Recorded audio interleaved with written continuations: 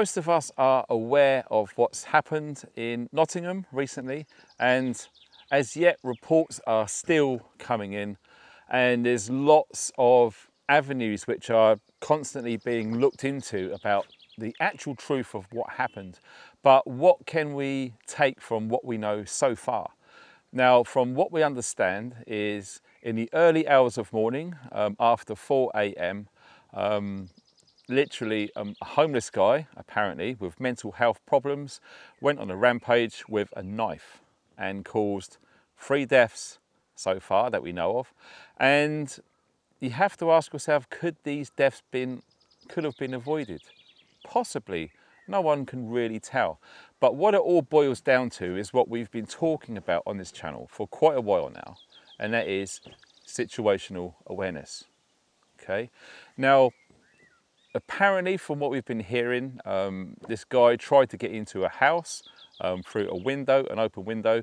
Now, straight away, um, it's difficult because at the moment the weather is getting hotter and most of us um, sleep with our windows open, etc. Um, so very basically, what have we learned so far? Maybe secure your property, shut all windows and doors, okay? Yes, it's going to be slightly more uncomfortable because of air and temperature, etc. But, you know, these people who are no longer with us, um, they had no idea that they was going to end up in this situation. Um, so yes, we, we can learn from, from these um, events which happened. And as preppers, we need to make sure that we are aware of the situation around us. Now, like I said, very basically, if that guy had his windows um, closed and locked and his door locked, the chances are he could still be alive right now. And also the guy with the van, um, it's literally, we've talked about this ages ago and we've mentioned it a few times, but what I might do is because of the severity of this incident and we can literally um, foresee future events just like this happening um, in the near future. It's already happened in France. There was a knife attack over there within a children's playground, etc. So these are just the ones that are being reported. We don't really know um, what's happening in and around the UK and indeed um, around the world. You know, not everything is reported and some people unfortunately pass away and it doesn't get reported.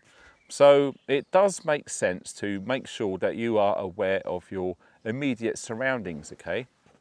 We spoke about this on a video a long time ago um, in a bunker talk um, a few years back now. Now, personally, every time I leave or I enter my vehicle, I'm always aware of the surroundings, okay? Any um, potential threats um, that could happen, okay? Just make sure that you look around. Yes, we spoke about this before, not that long ago, when you've seen it, I've seen it, we're, we're out and about in the, the towns or the cities or even in rural areas like where we are now. Some people love to look at their phones and some people have their headphones on and they're completely unaware of their surroundings. These people are literally walking targets in the 21st centuries. It absolutely is, okay? So it's basic common sense from how I see things, but unfortunately, not everyone understands or adopts any sort of level of common sense. Now, obviously, if you're approaching a vehicle, you always look around to make sure that no one is watching, no one is um, rapidly approaching, etc. And it goes back to um, martial arts training, okay? If someone is near you or you have a feeling something bad's going to happen, always make sure that you can see both hands. If one or both of their hands are concealed, if their feet positions are altered or they're altering, okay, all of these things need to be observed. Now, like I say, what I'm planning on doing is doing a series of situational awareness videos on my website um, because I have been contacted by a few people telling me about, oh my God, did you hear what happened in Nottingham? Did you hear what happened in France the other day? Etc. And yes, there are certain things that we can do to protect ourselves. And like I said, it all boils down to common sense. Be aware of your immediate surroundings. Like I said, these people who are now, unfortunately, no longer with us, they probably didn't know what was going on. They weren't aware of what was around them. If they were, they would have had time to be able to think what to do to avoid a possible fatal situation. Now, like I said, this is news coming in and we don't know all of the facts yet. So it'd be interesting to know what you've heard or what indeed you've seen um, about this incident in the comment section below. I've currently got a friend who is actually on holiday and from the scene of his hotel window was the crime scene. So I'm getting reports from him as and when he is available. I'm based on what is literally happening on the ground um, over there in Nottingham. So yes, basically the message of this video is heads on a swivel. Always look around always make sure that you're aware of your situation and awareness of it. Okay, like I said, we have spoke in previous videos about using things, especially in the city centres where there's lots of like high streets and windows. Have a little glance, look at a shop window. You can see reflections of all the way around you, okay? It's not a fear thing, it's just being aware, okay? Um, like I said to a friend of mine a long time ago, paranoid people live longer. That was the saying which I dreamt up.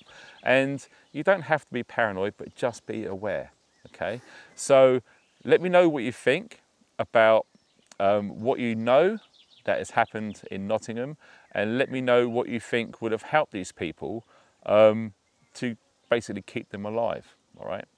And also, one last thing, if you are out there in weather like this, it's always good to have a day sack, no matter where you go. Always make sure that you've got water, somewhere you can charge your devices, basic EDC, everyday carry stuff. But one important thing which not many people talk about is having a good, solid first aid kit, okay? Moreover, in these situations, trauma care, okay?